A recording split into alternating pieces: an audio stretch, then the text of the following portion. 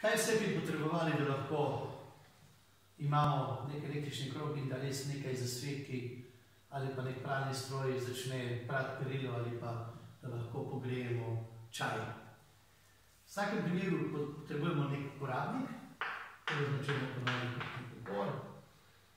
Žice do tega porabnika potrebujemo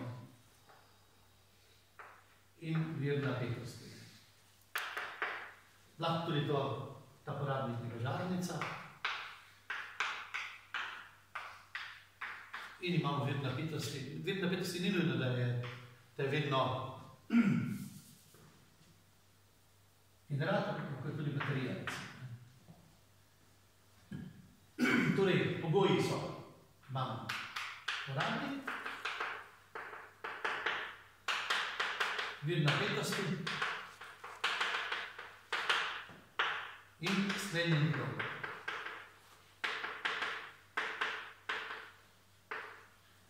Porabniki so tisti, ki jih imate doma vezani na elektriko, torej, kot smo rekli, dikalni, šedilni, pralni stroj, fen, toaster, električni radiatorji.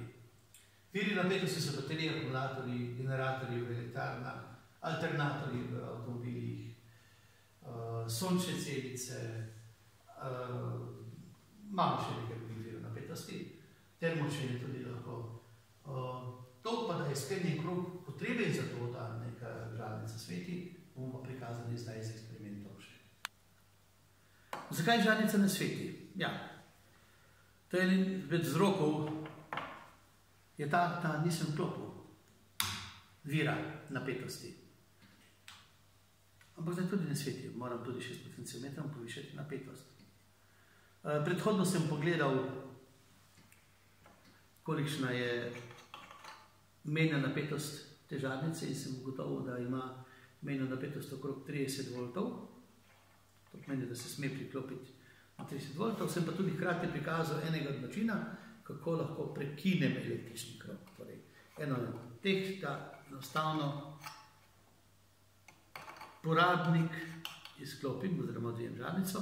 Drugi način je, da prekinem vezavne žice, torej dovod napetosti, tretji način je pa, da odklopim vir napetosti. Ampak vsekako, če pa hočem, da žarnica sveti, potem moram imeti vjem vir napetosti, električni krog mora biti sklenjen, pa seveda ne samo, da vir napetosti, tudi mora biti dovolj visok vir napetosti, pa v njem mora biti porabnik, ker če v njem ni porabnika,